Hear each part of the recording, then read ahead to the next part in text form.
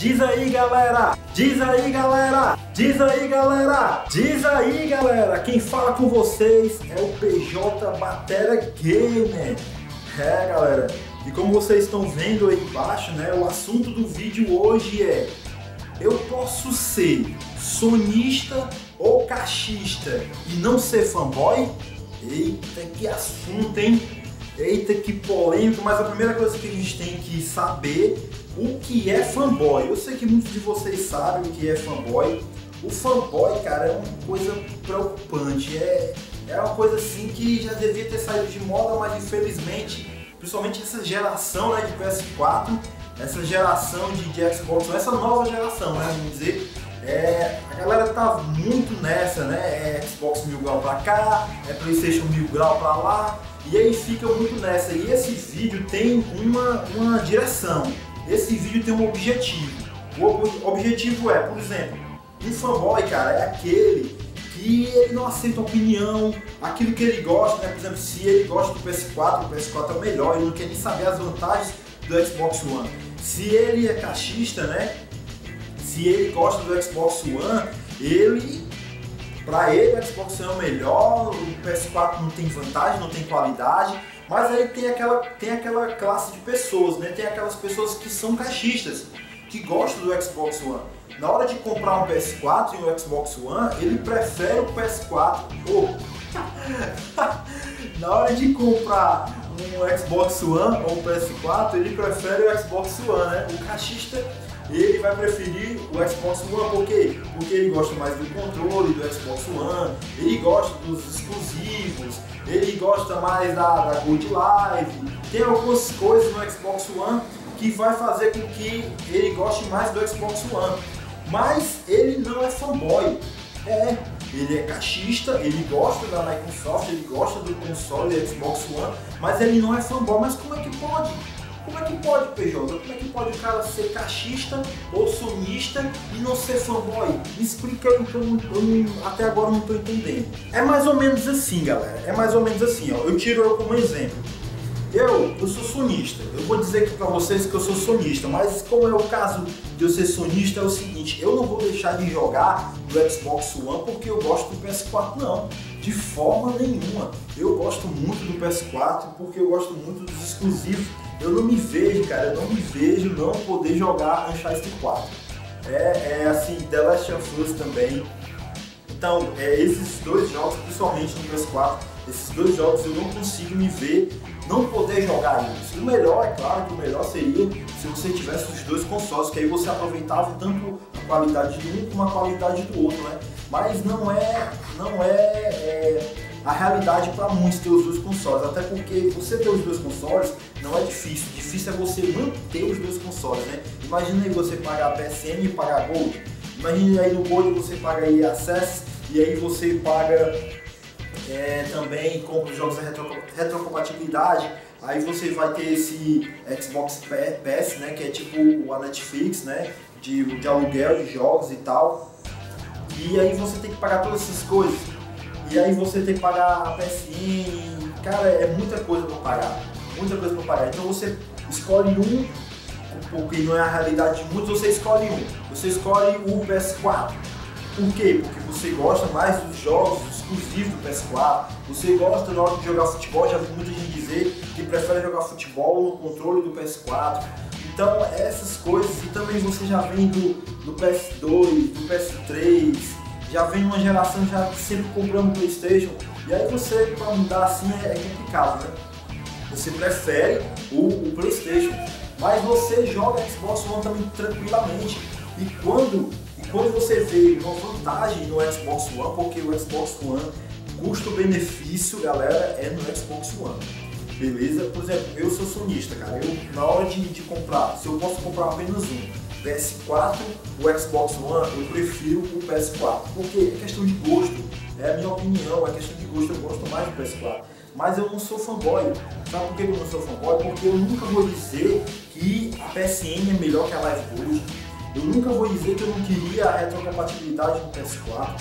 Eu nunca vou dizer que eu não queria a EA Access do PS4. Cara, se o PS4 tivesse todas essas vantagens do Xbox One, seria perfeito, cara. Retrocompatibilidade, EA Access, a Live Gold, cara, jogos aí, quatro jogos, é, todo mês aí, jogos massa que só, enquanto a PSN aí só, só, só joguinhos mesmo, vou te contar, cara. Incrível que ainda tem gente que defende, né? Esse vídeo aqui pode ser um teste para você. Você pode se identificar com esse vídeo e pensar, vixe, será que eu sou fanboy? Será que eu gosto de PS4? Mas eu, eu não suporto ouvir o nome Xbox, eu não suporto ouvir dizer que o Xbox está melhor, eu não suporto ouvir dizer que com essa chegada agora do Xbox, Xbox Scorpio, né, o projeto Scorpio, é, o Xbox vai ser o console mais potente, o mais poderoso console, e vai ter 4K nativo. Será que eu consigo, eu não consigo ouvir todas essas notícias do Xbox? Então eu sou fanboy, então eu queria que o PS4 tivesse tudo isso, mas não fosse no Xbox. Cara, eu fico, eu fico triste, cara, eu fico triste quando eu vejo muita gente aí feliz quando um exclusivo bom, do, como foi no, na Microsoft, o Skybolt, né? Foi cancelado, muita gente comemorando, muita gente.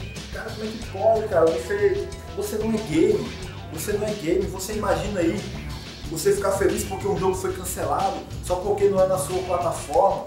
Cara, é incrível, é incrível como essa geração tá, cara. E, eu digo pra vocês aqui, ó, eu sou sonista. Na hora de preferir, na hora de comprar um PS4 ou um Xbox One, eu prefiro o PS4. Mas não é por isso que eu sou sonista que eu devo ser fanboy não. Vocês estão entendendo? Todo sonista não é fanboy não, ele é sonista porque ele gosta do PS4, ele prefere o PS4, mas isso não quer dizer que ele é fanboy alienado, que ele não gosta, nem, nem nunca vai encostar a mão no controle do Xbox One. Tem muita gente, galera, tem muita gente que tem os dois consoles, tem muita gente que tem os dois consoles e ainda joga no PC também, entendeu? Então o fanboy é uma coisa, é uma coisa alienada é uma coisa que fica feliz quando um jogo é cancelado.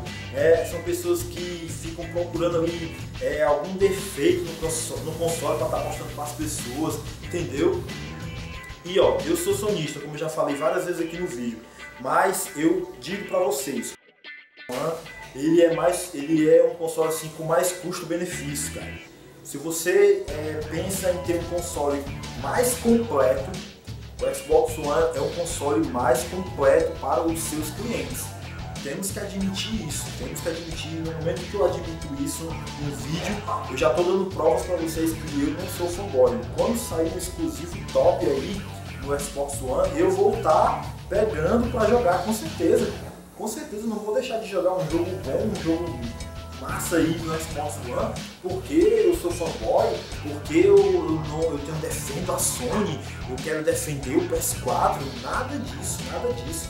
E eu perguntei a opinião de várias pessoas aí, pelo menos nos grupos né, de WhatsApp, sobre essa questão, né?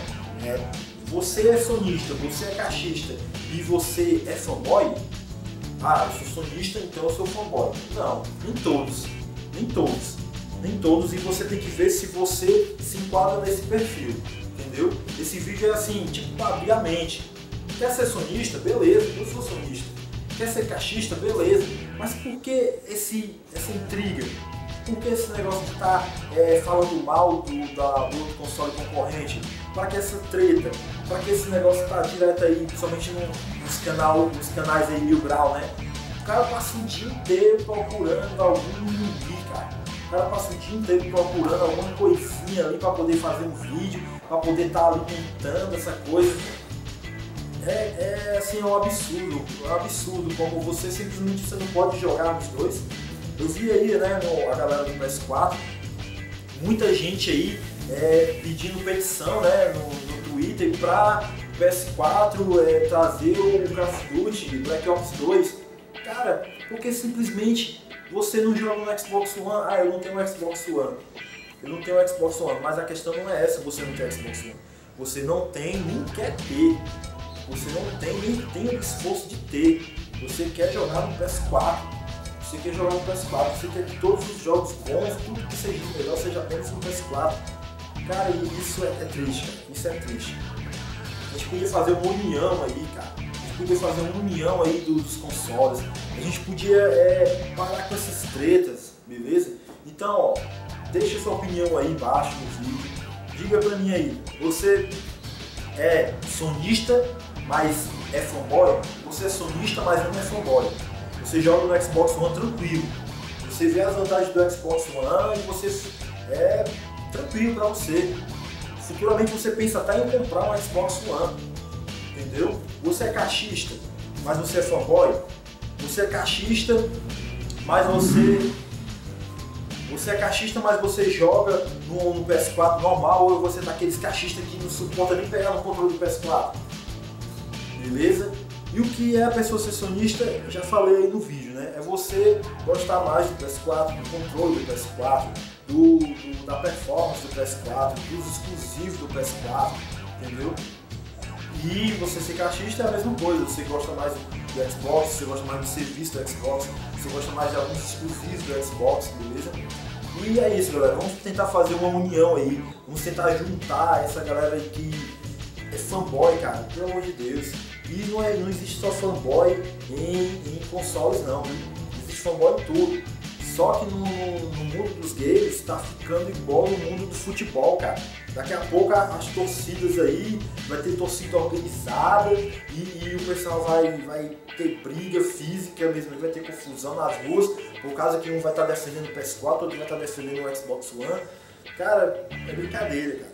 Eu vi muita gente aí ficando infeliz com o lançamento do Xbox, é, Xbox Scorpio, né? Até a própria mídia aí, mídia especializada aí, os caras aí falando, ah, o que, que, adianta ter um, um, console tão poderoso e não ter jogos? Pelo amor de Deus, cara. Pelo amor de Deus. É, é, vamos abrir nossas mentes que o PS4 veio é, mandar seus exclusivos top agora esse ano. Desde o começo da geração, ó, era só uns gatos pingadozinhos, teve o Uncharted 4, aí só no final do ano teve o The Last Guardians, entendeu? Então, ó, vamos abrir nossa mente, cara. Vamos abrir nossa mente para que a gente não possa ser fanboy alienado. Beleza, galera? Então, se você gostou desse vídeo, deixa aí, ó, deixa um like aí, se inscreva no canal. Saiba que você está no canal de um cara que é sonista, mas não é fanboy. Eu gosto sim do PS4, entre PS4 e Xbox One, eu prefiro o PS4, mas eu não sou fanboy.